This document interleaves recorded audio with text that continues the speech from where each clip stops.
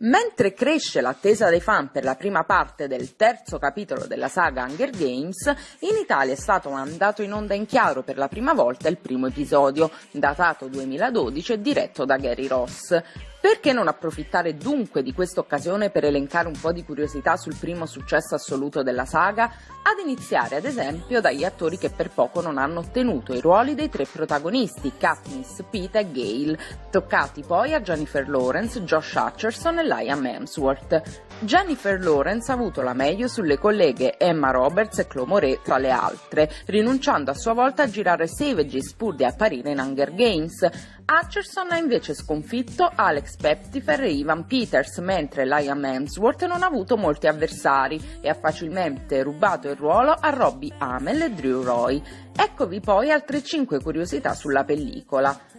Lenny Kravitz nella saga interpreta lo stilista Sinna, ma non ha dovuto fare nessun provino per ottenere il ruolo. Il regista Gary Ross si è infatti innamorato dell'interpretazione del cantante in Precious. La figlia di Kravitz, Zoe, è inoltre una carissima amica della Lawrence e sembra che il cantante le abbia chiesto molti consigli per lavorare al meglio accanto all'attrice premio Oscar.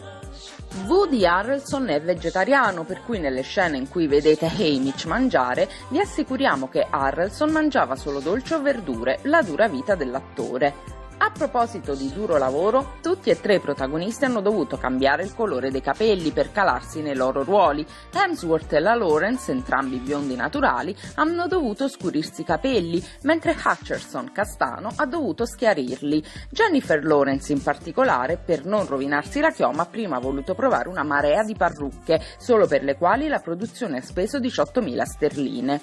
Paula Malcolmson, l'attrice che interpreta la mamma di Katniss, ha curiosamente già vestito i panni della mamma di Jennifer Lawrence in un episodio di Cold Case in cui hanno recitato entrambe. Infine, Donald Sutherland ha letto per caso il copione del film e ha fatto molte pressioni per ottenere la parte del presidente Snow, scrivendo una lettera al regista perché il copione gli ricordava Orizzonti di gloria di Stanley Kubrick.